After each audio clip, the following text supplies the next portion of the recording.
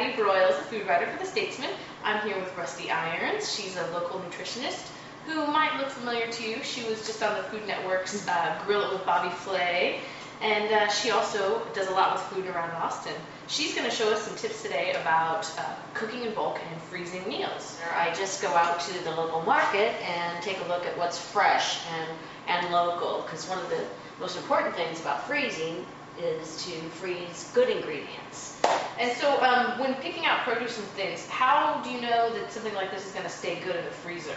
Oh, well, the internet is a great source of information, I must tell you that. Um, but basically, uh, peppers, they, they freeze very well. But a lot of times, depending on what you're freezing, whether it's a vegetable, fruit, or meat, a lot has to do with the way that you package it so that you can eliminate the amount of air that gets to the product.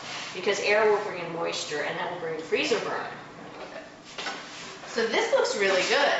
What is this? Well, isn't it pretty, first of all? These are Can you see this little guy?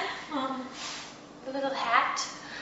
Aren't they cute? I mean, So there's this is really kind of a And you can freeze these. Yes, you can. Um, I would have never thought you could freeze peppers like this. put it in a really burp, burp, burp free, heavy Tupperware Mhm. in, the, in the freezer, not for long. Um, and if you bring them out, uh, it's easy to throw them under the grill.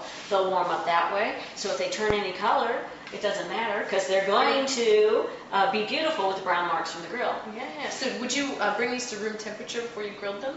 Really, with something like this, I would I, ha- I would probably have a tendency not to have it um, at room temperature too long. This is our, a pre- pre-prepared product. Okay. Uh, but it's easy, actually, with frozen food. It's sometimes better just to put them in the oven frozen. Oh, really? So not, not, you know, it's more with the pure meats that you Okay. want to really bring it to room temperature. So we're all, we're all learning here together.